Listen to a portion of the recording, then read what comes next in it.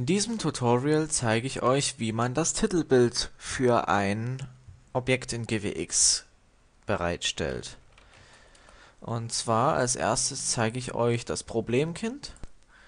Es ist nämlich das Monster.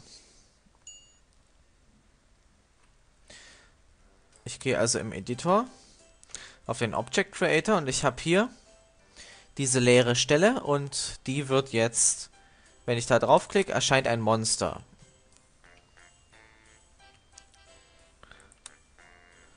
Und da, wo jetzt eben die leere Stelle war, soll jetzt keine mehr sein. Also gehe ich bei Objects, Graphics, Living Monster rein und habe dort schon die Model-Datei monster.compound.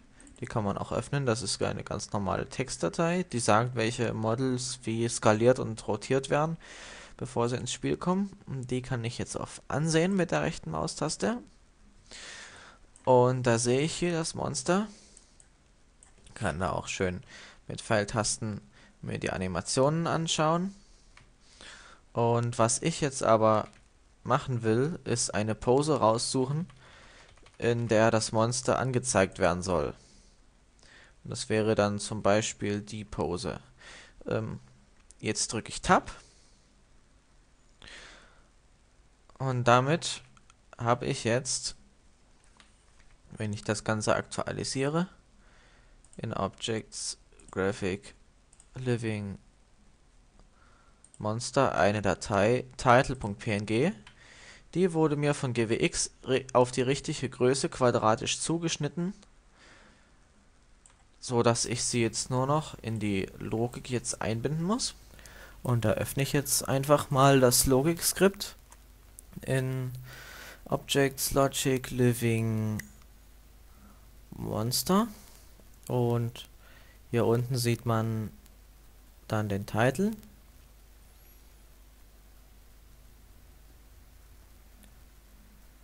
Der ist auf Pax Objects Graphic Living Monster Title.png gesetzt.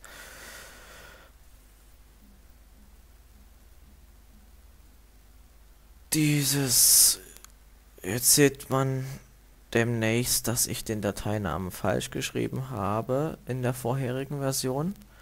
Das ist dann auch noch ein zweiter Fehler, nämlich das M wie man sieht, ist groß geschrieben. Im Ort der Ordner wird aber mit kleinem, kleinem m geschrieben, also Monster mit klein m. Das ändere ich jetzt schnell mal und probiere es dann aus.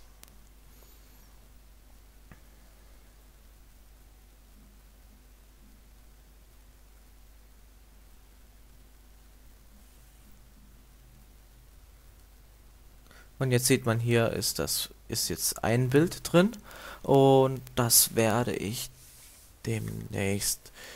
Hier sieht man den schwarzen Rand. Das soll nicht so bleiben, also öffne ich das ganze Bild nochmal mit der Bildverarbeitung. Ich nehme hier GIMP, weil man damit Bilder bearbeiten kann. Tolles Argument.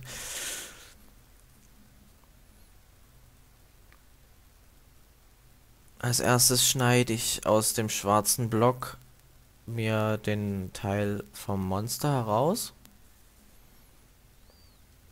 Man sollte darauf achten, dass das Bild möglichst quadratisch ist, also genauso hoch wie breit, weil alle Icons auf diese Größe skaliert werden.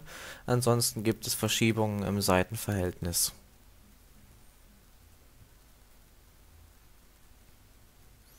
Die Größe sollte auch möglichst eine Zweierpotenz in einer Zweierpotenz entsprechen, also 128 mal 128, 256 mal 256 oder 512 mal 512. Da das jetzt aber nicht so passt und das Monster dann entweder zu groß oder zu klein werden würde, entscheide ich mich jetzt für 280 als Größe und schneide das Bild dementsprechend aus. Als nächstes kümmere ich mich um den schwarzen Rand und schmeißt den raus und da sieht man schon, ups, das Nasenloch hat sie mitgenommen. Also nochmal zurück. Das muss ich jetzt aus der Auswahl rausschneiden. So, und das kleine Fitzelchen auch noch.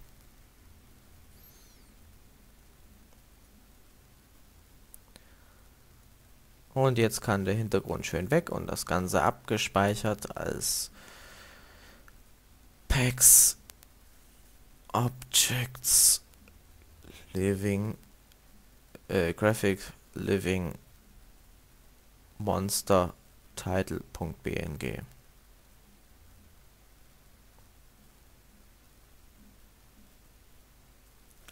Das Ganze überschreiben wir. Und dann haben wir das Bild auch schon in der richtigen Größe, wie wir es anschauen können.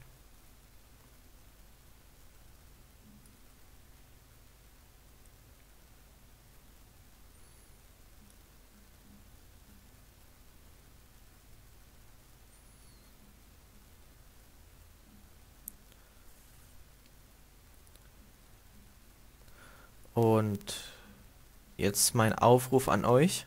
Ihr wisst jetzt, wie das geht und ihr habt gesehen, es sind noch einige Lücken offen im Originalpack, einige Titelbilder sind noch nicht gesetzt.